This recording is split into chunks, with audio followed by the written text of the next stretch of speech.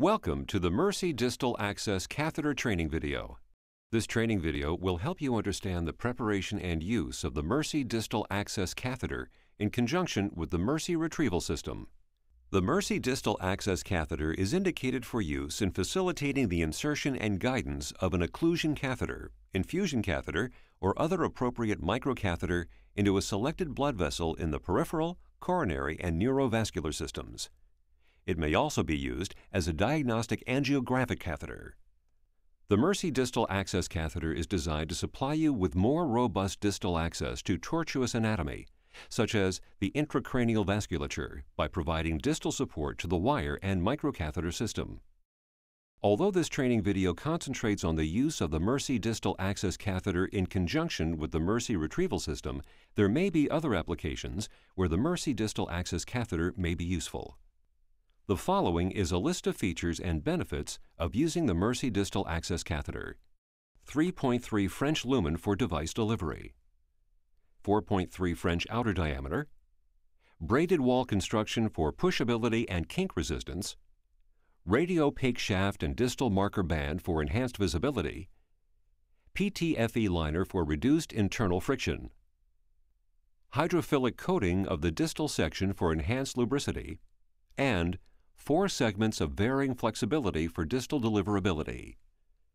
Prior to using the Merci Distal Access Catheter, flush the packaging hoop containing the catheter with heparinized saline prior to removal from the packaging hoop.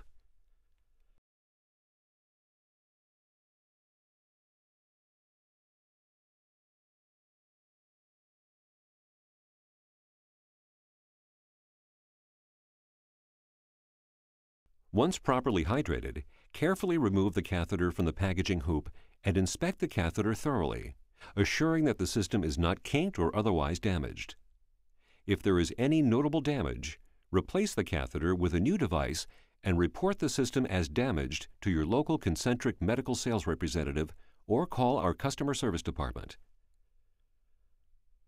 Attach the included rotating hemostatic valve, or RHV, to the catheter hub each Merci distal access catheter comes supplied with a 7 cm long RHV.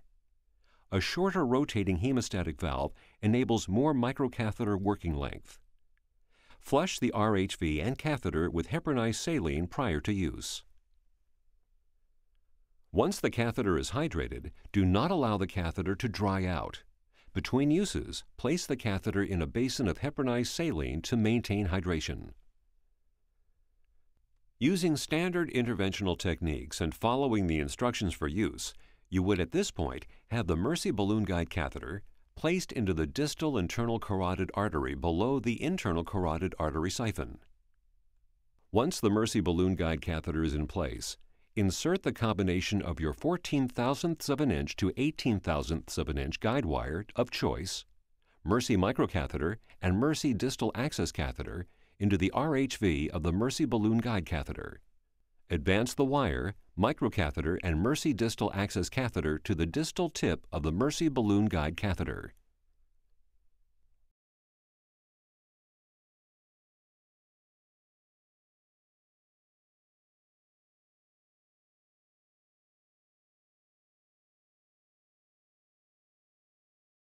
Optimum distal access support may be obtained by using a telescoping technique during the advancement of the wire, microcatheter, and Merci distal access catheter through tortuous anatomy.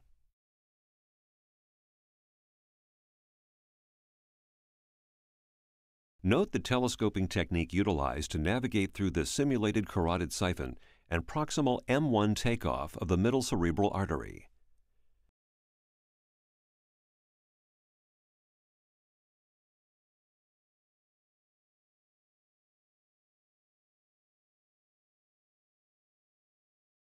Note that this system configuration is now a triaxial system. The maximum working length of the Merci distal access catheter beyond the Merci balloon guide catheter is approximately 20 centimeters. The maximum working length of the Merci microcatheter beyond the tip of the Merci distal access catheter is approximately 11 centimeters. Once the system has reached the proximal face of the clot, use standard technique to cross the clot with the guide wire and Merci microcatheter. Once the wire and microcatheter have crossed the clot, Exchange the guide wire for your choice of Merci Retriever. Deploy the Merci Retriever distal to the clot. Once deployed, pull tension on the retriever and microcatheter to engage the distal face of the clot. Place the locking torque device onto the proximal end of the Merci Retriever and advance it to the RHV of the microcatheter prior to locking it in place. Using fluoroscopy, ensure the microcatheter is held just proximal to the loops of the Merci Retriever per standard retrieval practice. This fluoroscopic image illustrates the proper placement of the Merci distal access catheter in relation to the microcatheter and Merci Retriever. In preparing to retrieve the clot, ensure that the Merci distal access catheter is in line and just proximal to the position of the clot. As tension is applied to the retriever and microcatheter, make sure to maintain and manage the position of the Merci distal access catheter. As tension is applied to the retriever, the Merci distal access catheter will move distally as slack is removed from the system. As this occurs, you will need to retract the Merci distal access catheter in order to keep it from engaging the proximal face of the clot.